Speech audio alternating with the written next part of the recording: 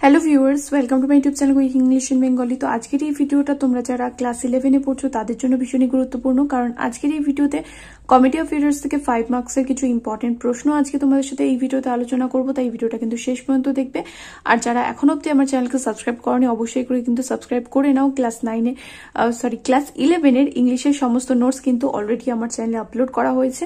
তোমরা যদি pros poetry বা প্লে থেকে কোনো বড় কোশ্চেনের ভিডিও দেখতে চাও এমসিকিউ এসিকিউ চাও, তাহলে তার অবশ্যই করে কিন্তু ক্লাস ইলেভেন সিলেবাস দু হাজার তেইশ বলে যে প্লেলিস্টটা আছে ওটা ফলো করো, ওখানে তোমরা সমস্ত ভিডিও পেয়ে যাবে।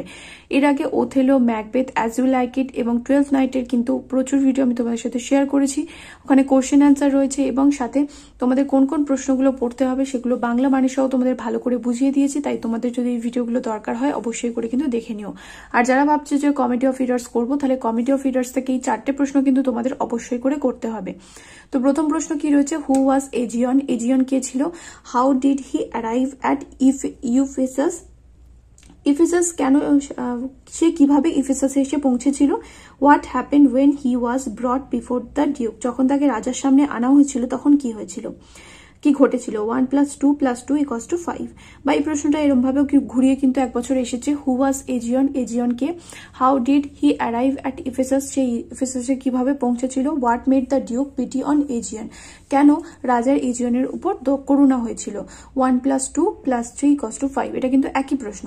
আবার আরেকটা বছরে কিন্তু এরকম প্রশ্ন এসেছিল why what made Aegeon landed on Ephesus কেন এজিয়ন মেফেসাসে ল্যান্ড করেছিল। মানে সেখানে কেন নেমেছিল, অবতরণ করেছিল? What danger did he face there সে সেখানে কোন বিপদের সম্মুখীন হয়েছিল? Three plus two equals to five এই প্রশ্নটাও কিন্তু কিছুটা এই দুটো প্রশ্নের উত্তরের মতোই। যদিও এই দুটো প্রশ্নের একই উত্তর হবে, তো এই প্রশ্নের মতোই কিন্তু কিছুটা লাস্টের পার্টটা তারপরটা why was elder Antipholus denied entry in his own house কেন?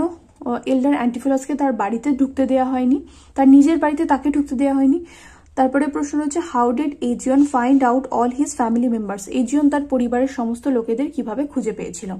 এই চারটে প্রশ্ন অবশ্যই করে কিন্তু তোমরা তৈরি করবে। এই প্রশ্নগুলো কিন্তু তোমাদের ফাইনাল এক্সামের জন্য ভীষণই পরিমাণে ইম্পর্টেন্ট বা ভীষণই গুরুত্বপূর্ণ।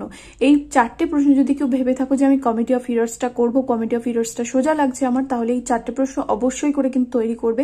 এর বাইরে কমিটি অফ হিরোস থেকে কিছু করার দরকার নেই। আর তোমরা যদি চাও যে আমি অন্য প্লে করব, এটা বেশি কঠিন লাগছে, তাহলে অন্য যে প্লেটা রয়েছে, যেমন ধরো ম্যাকবের থেকে যে প্রশ্নগুলো দিয়েছে, চারটে প্রশ্ন করলে চারটেই করতে হবে। অ্যাজ ইউ লাইক ইট থেকে যে কটা দিয়েছে, সে সেই প্রশ্নগুলো করতে হবে।